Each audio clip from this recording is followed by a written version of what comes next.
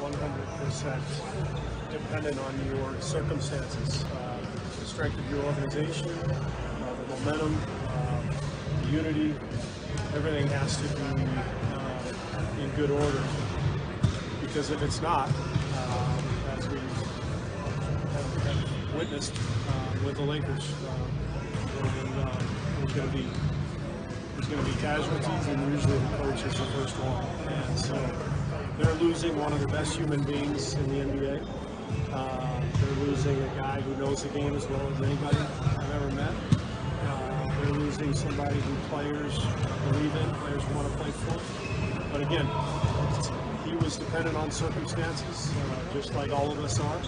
And um, I feel for Luke, uh, and I'm, you know, I feel fortunate to have a set of circumstances here where we've got stabilizing our organization every day, and I'm lucky to to be in this position and to be surrounded by those people because it uh, doesn't happen often in the NBA.